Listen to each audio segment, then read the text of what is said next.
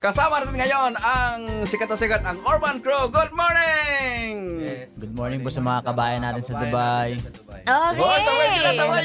Oo. At tayo excited na excited tayo, Bluebird. Kasi nga, sila ay magpe-perform, syempre, sa Global Village ngayong araw na to. At alam ko, na alam na alam nyo, Urban Crew, sumika talaga yan dahil nagbigay ng karangalan sa ating mga Pinoy, lalong-lalo na sa America's Got Talent. But before anything, eh, gusto namin malaman, paano ba nagsimula ang grupong Urban Crew? Ah, nagsimula po yung grupo namin sa ano po kami, nagkakalaban po kami sa contest. Ah, Before- magkakalaban pa kayo ha? Opo. Okay. Ah. So, nagkakita-kita po kami sa contest. Tapos po, pag nakikita mo yung, nakikita po ng leader namin yung ano, yung isa na may potential po na makasama sa grupo. So, kinokontak niya po yun. So, kami po, as a dancer, nag-compete po kami.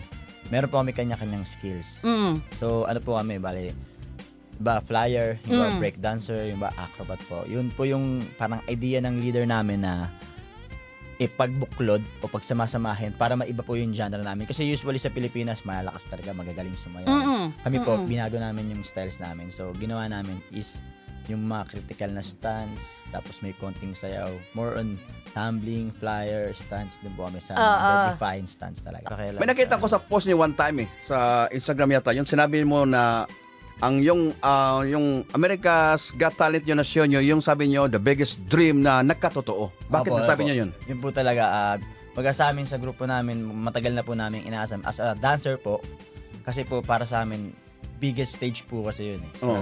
Malaking achievements po para sa amin na makasayaw sa gano'n na Yes, pinapangarap lang international po. eh. Opo, pinapangarap po ng lahat ng dancer yun eh. Oo. So kami po, dream come true na po sa amin yun kasi nakasayaw po kami dalawang beses.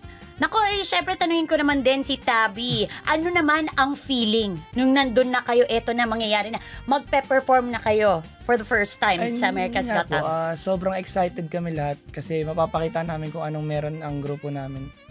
Kung meron may papakita kami mga extraordinary na kami lang ang nakakagawa. Ah. Ano ba yung maasahan ng ating mga kababayan na i-perform nyo? May tumbling pa ba? Sayaw? Mm, ganun pa rin po. Kung anong po yung sinimulan namin na pinapakita namin yung extra, extraordinary, Mhm. ina-upgrade pa po namin para Upgrade? Opo. Nile-level Magawa up po Nile-level up every po. year. Every year po nagle-level up kami ng mga Show. stunts namin at show.